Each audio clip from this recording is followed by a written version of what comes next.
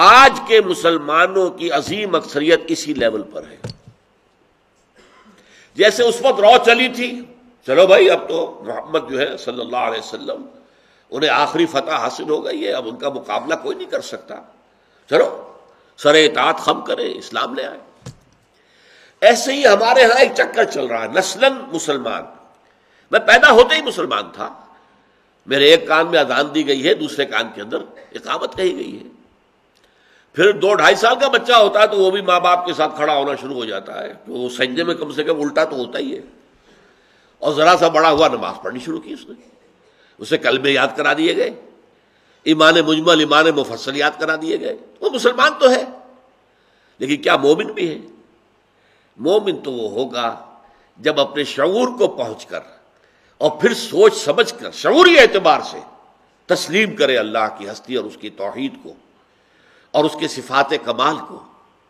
तस्लीम करे बाज बादल मौत और क़यामत का दिन और जजा सदा के फैसले और जन्नत और दोदख को। और तस्लीम करे मलाइका के वजूद को, वही को, किताबों को, अंबिया को, रसूलों को। जब इन चीज़ों पर उसका पर्सनल कन्विक्शन होगा, तब वो मोमिन होगा। उससे पहले मुसलमान तो है, मुसलमान के घर में पैदा हुआ है, मुसलमान है।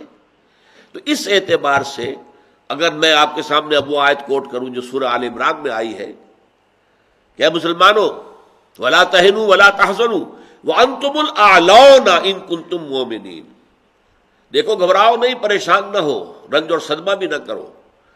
तुम्हें गजब ओहद के अंदर चरका लग गया है, ठीक है, लेकिन इससे जो है तुम्हारे अंदर दिली तौर पर कोई दिल शिकस्तगी पैदा नहीं होनी चाहिए। हमारा वादा है, अंतुमुल आलौन आलौन आला की जमा है तुम ही सबसे ऊँचे रहोगे अगर तुम मोमिन हुए। अब इस आयत को अपने सामने रखिए। आज तो हम जलील हैं, खार हैं, रसवा हैं, हमारी कोई हैसियत नहीं।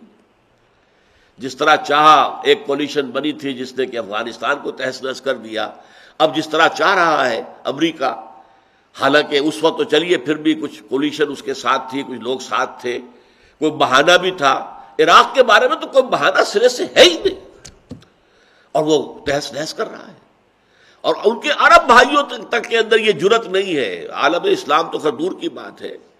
लेकिन उनके पड़ोसियों के अंदर भी ज़रूरत नहीं है कि हम इसे अपने खिलाफ हमला समझेंगे।